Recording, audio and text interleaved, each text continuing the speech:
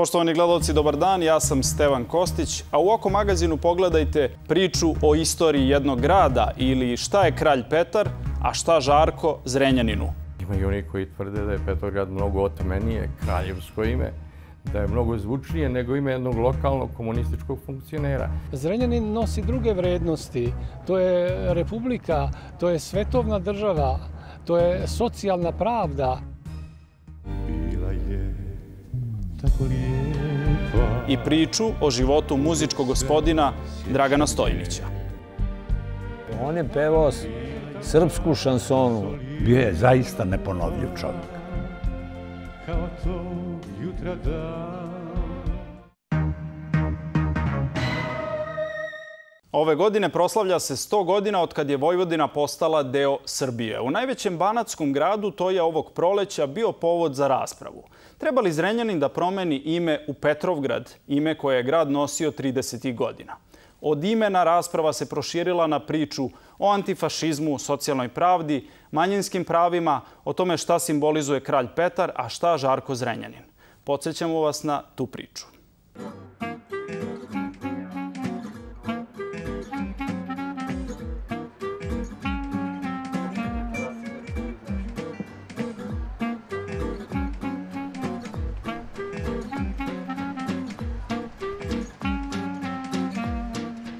Da li je moguće promeniti ime grada posle sedam decenija? Šta je Žarko Zrenjaninu, šta je kralj Petar Vojvodini kome i šta znači Bečkerek? Sve je krenulo od udruženja građana Petrovgrad koje traži da se Zrenjaninu vrati ime iz 30. godina, ime koje je nosilo po kralju Petru I. Karadžorđeviću. Ipak utisak posmatrača sa strane je da se od viška strasti još nisu čuli svi argumenti. Taj dijalog izgleda potpuno drugačije kod dvojice uglednih zrenjaninskih, ali i srpskih sociologa. Braća, Nedeljko i Todor Kuljić, ovako obrazlažu svoje stavove za Petrovgrad, odnosno Zrenjanin. Zašto Petrovgrad, a ne Zrenjanin? Pa oni, mi koji podržavamo tu inicijativu, podržavamo je sa uverenjem da je ta javna simbolika koja je sadržana u imenu Petra Karadžođevića nadmoćna nad onom drugom. Nazivi gradova su simboli vrednosti. Zrenjanin nosi sasvim druge vrednosti nego Petrovgrad.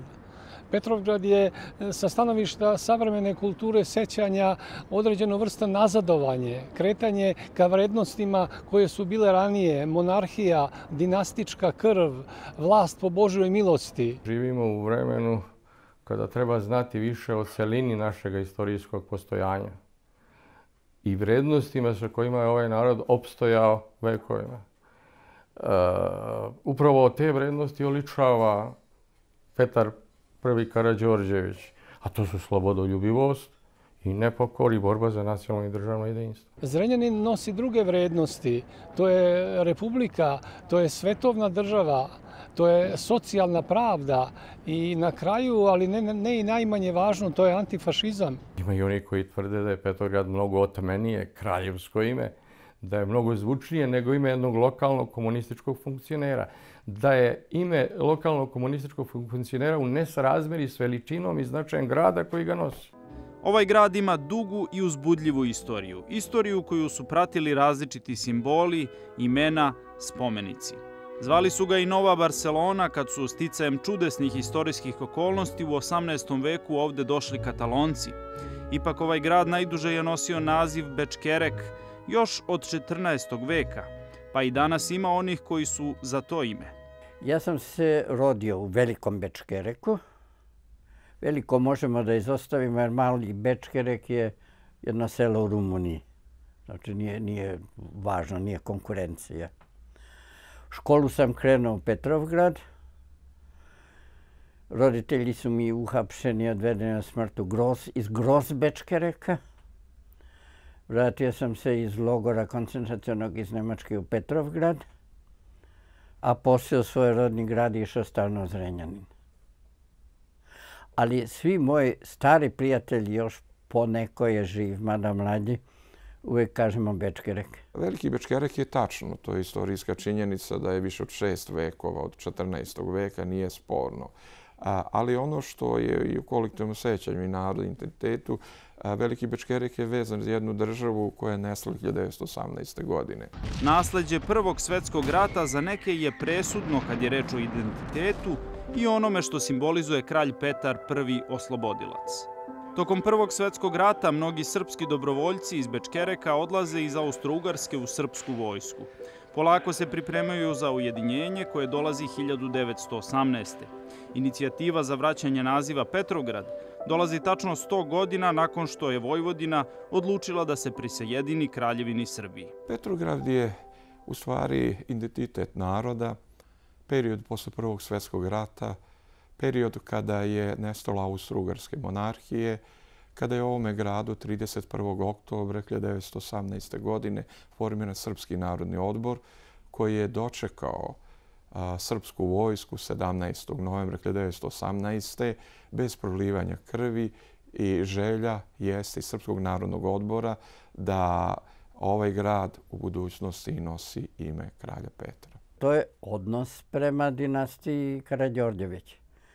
Je to dobri kralj Pera sa vunenim čarapama ili onaj koga je Apis doveo pošto su ubili Obrenoviće i koji je sam šutirao svoju ženu u trbuh, pa su zbog toga njegov tast, kralj Nikolaj, on uzajamno stali ubice jedan na drugog.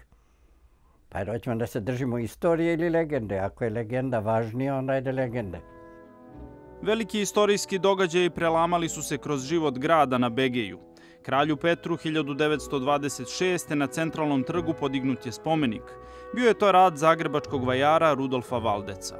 Osam godina kasnije, neposredno pred ubistvo kralja Aleksandra u Marseju, donosi se inicijativa da Veliki Bečkerek promeni ime u Petrovgrad. Ime Petrovgrad postojaće do 1941. godine. Posle sloma Jugoslavije, Nemci odlučuju da preuzmu kontrolu nad Banatom, jer je ovde živelo domicilno nemačko stanovništvo.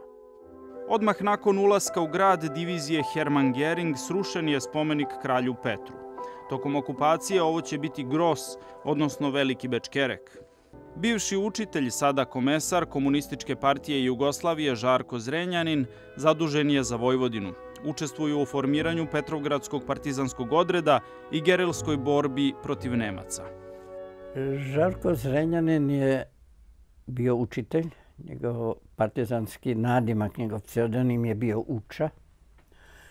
On je osnovao prvi narodni univerzitet tamo u Južnom Banatu i on je onda krenuo u tu borbu u kojoj je poginuo u svakom slučaju jedna sa mog stanovišta divna ličnost. Šta je realna slika o antifašističkoj borbi i u Vojvodini i u Srbiji?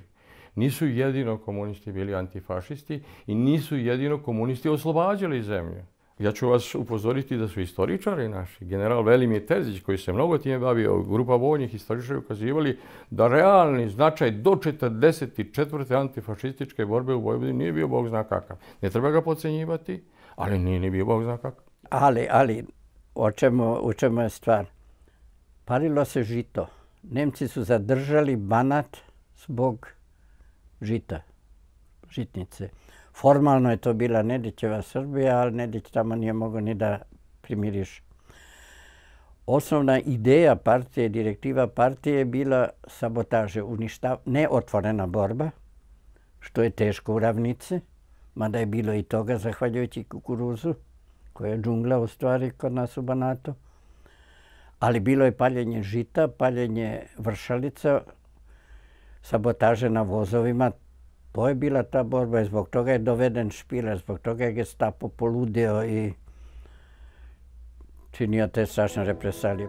U oktobru 1942. Josip Broz poziva Žarka Zrenjanina da kao delegat Vojvodine prisustvuje prvom zasedanju Avnoja u oslobođenom Bihaću. Međutim, neki saradnici su ga odali mesto kod Vršca gde se krio je otkriveno i Nemci su ga streljali.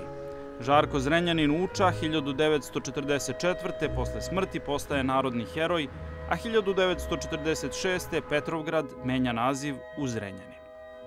Ako vala ima nekog ko je, hajde da kažemo titoista, jugonostalgičar i tako dalje, to sam sigurno ja, ali meni Zrenjanin nije potreban da bih bio antifašista. Mislim, ime. U Vojvodini se antifašizam tumači i pre svega razume kao borba protiv onih koji se zalažu za srpsko stanovište.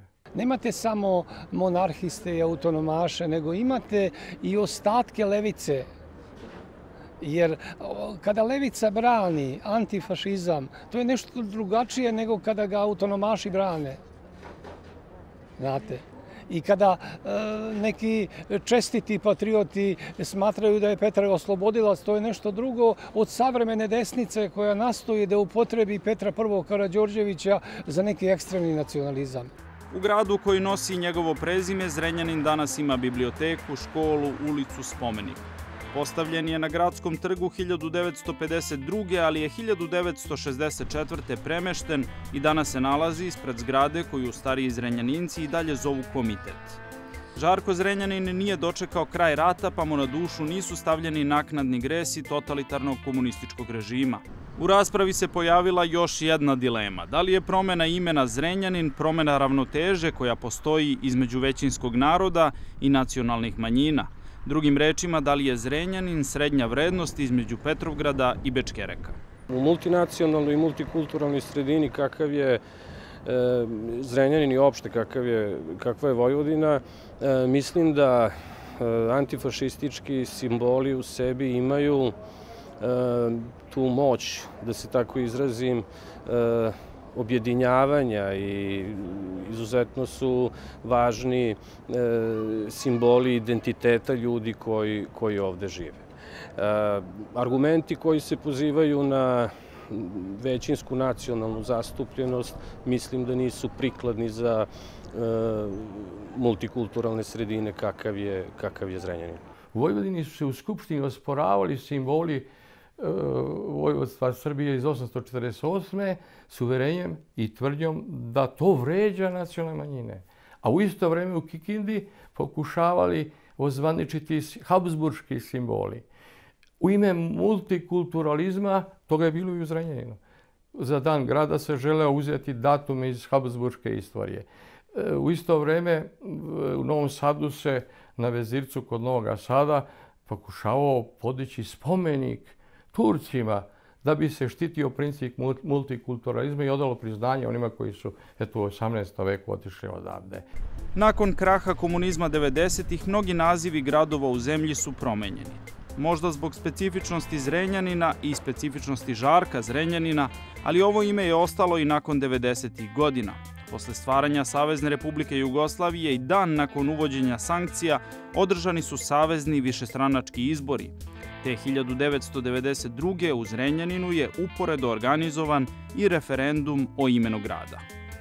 Za Zrenjanin je tada bilo oko 28% birača, za Petrovgrad oko 13%, ali na izbore je izašlo samo 42% Zrenjaninaca. Priča o Petrovgradu glasnije se priča od 2006. Tada je na Trgu Slobode u Zrenjaninu podignut spomenik kralju Petru i bila je to replika onog starog spomenika srušenog 41. Protiv Petrovgrade je i sedam decenija navike i to što je, kako kažu u gradu na Begeju, stvoren zaseban zrenjaninski identitet.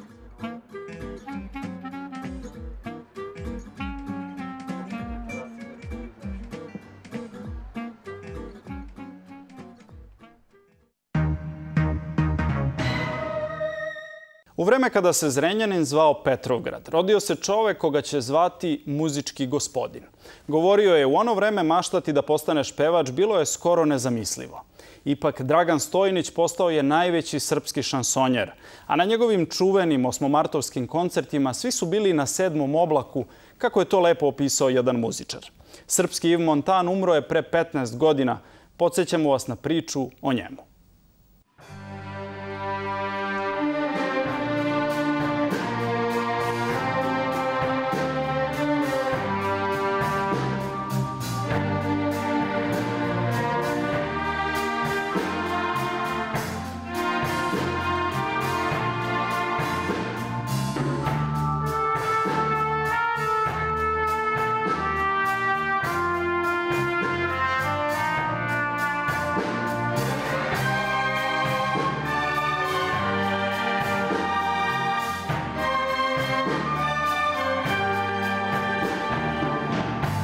Draganova blagost, toplina i ta, ta kultura njegova i ta kvalitet njegovog ponašanja, ophođenja i na sceni i privatno je za mene bilo nešto što može samo da posluži. Neponovljiv. Izvanredan. I drug, i prijatelj, i kolega. To je jedan divan, miran, nasmejan čovek koga su svi voleli. Ne mogu da mu nađem man. Ono što je pesma tražila, on je na najlepši način to preneo glasom i preneo publici. Mi smo ili dobitnici ili gubitnici. Ja sam u početku bio gubitnik jer, da vam kažem iskreno, u ono vreme maštati o tome da budeš pevač, to je bilo smešno i mojim roditeljima i svima, jer e, pevač kao profesija nije bilo cenjeno, to, kaže, to nije ništa. Ipak je postao dobitnik nakon festivala Mikrofon je vaš 1964. u Kraljevu. Takmičili su se pevači iz cele Jugoslavije. Konkurencija je bila žestoka, a pobednik je imao čast da snimi ploču. To je bio prvi Stojnićev vinil. Pesma je bila otkrovenje. Pesma je bila fantastična. Pesma, ja mislim, da je za najkraće moguće vreme postala popularna širom Jugoslavije. Pesmu je u originalu izvodio Alan Barije, tada čuveni šansonjer, ali Dragan Stojnić joj je ulio neki drugi život.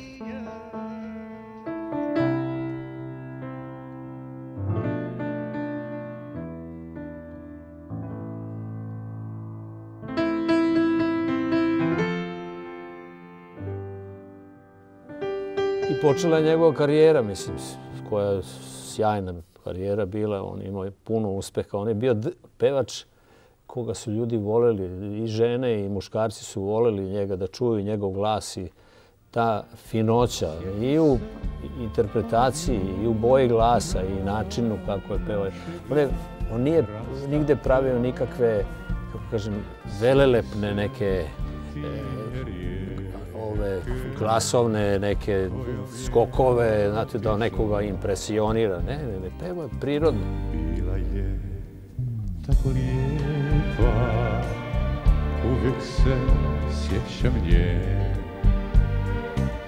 Bila je tako lijepa, kao to jutra dan. Divna je ona divna, bila kada sam ostao sam. Bila je tako lijepa, stavila je tačku na karijeru Dragana Stojnića kao spikera Radio Sarajeva i za uvek ga odvela u Beograd.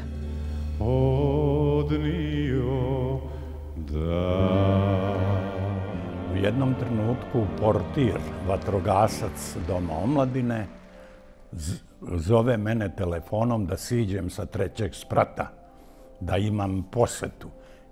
Ja se bunim, zašto da siđem? Pustite čoveka neka dođe. Ne, mogu, on je sa tri kofera. Dragan, ja silazim dole, ispred portirnice stoji Dragan Stojnic sa tri kofera. Ja zapanjen. On je samo saopštio, pa rekao si mi da za mene više nije Sarajevo, nego da treba da dođem u Beograd. Evo, ja sam te poslušao i došao sam. I tako je Dragan Stojnić pomogao francuskoj šansoni da se odomaći u Jugoslaviji. Učinio je da interpretacija bude važna koliko i tekst koji je pritom morao biti vrhunski. On je pevao srpsku šansonu, pretvorivši francusku u prijemčivu srpsku šansonu. Mislim, nije, kako kažem, nije imitirao pevača tog francuskog koji je snimio tu kompoziciju. Nego jednostavno donosio pesmu na najlepši način kako je osjećao. I to je to. Jedan čovek i jedna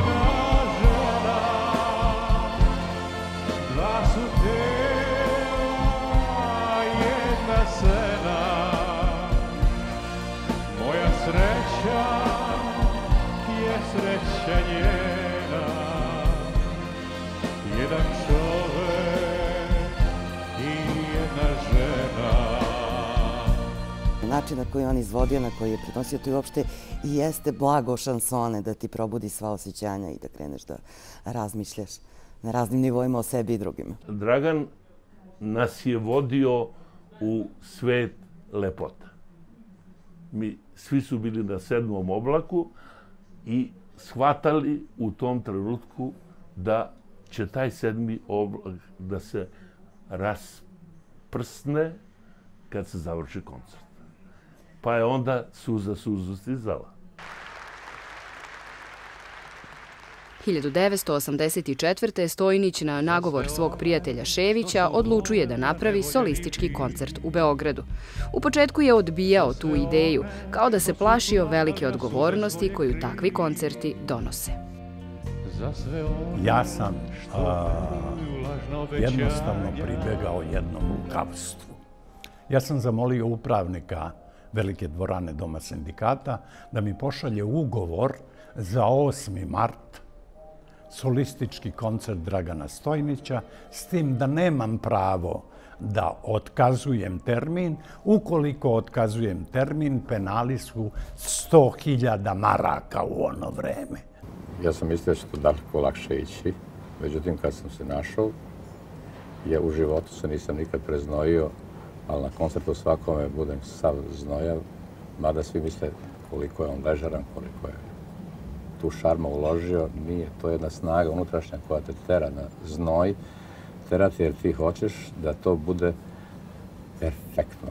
Kada je on pristao na solističke koncerte, onda je rekao, ok, samo da znaš, na svakom koncertu ti ćeš recitovati. A pošto na mom koncertu ne može biti samo šansone i lepe pesme, na mom koncertu uvijek ima i lepe reči i lepe poezije, a za nju je zadužen gospodin Milan Šević.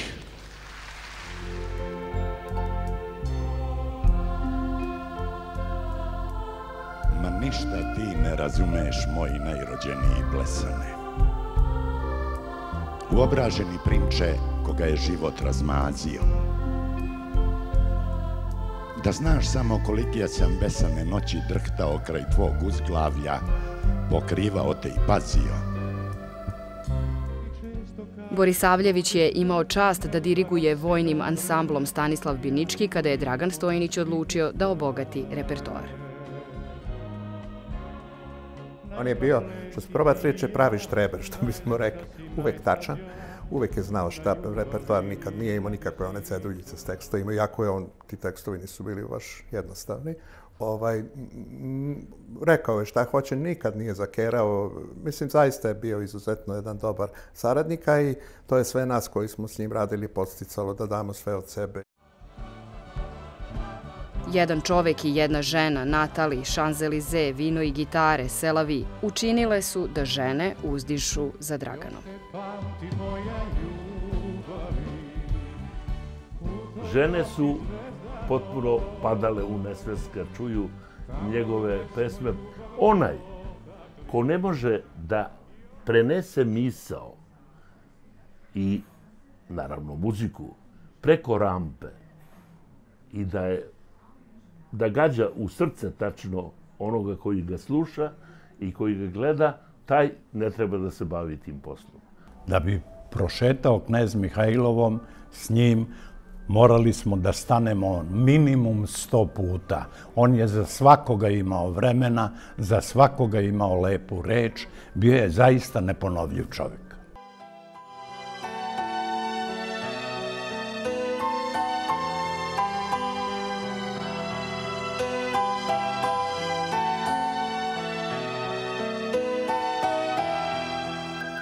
Setno je pevao o temama o kojima nerado razmišljamo, o onome što nas muči ili pak ispunjava. Pevao je o rastancima, prolaznosti života, mladosti, ljubavi. Mamio je suze i ženama i muškarcima. Nje zemlju našu, pa je grijeha ga data,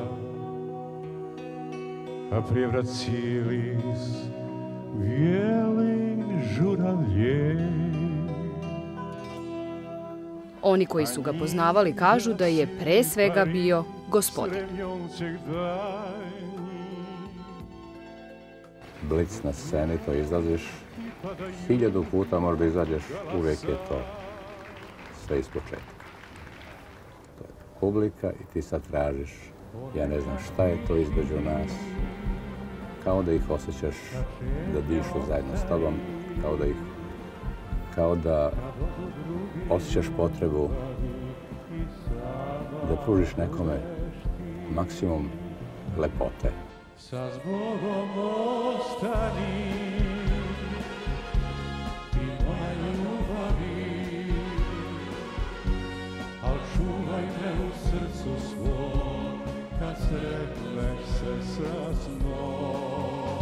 Ne zaboravite gospodina Dragana Stojnića, a emisiju možete ponovo pogledati na YouTube kanalu ili sajtu RTS-a.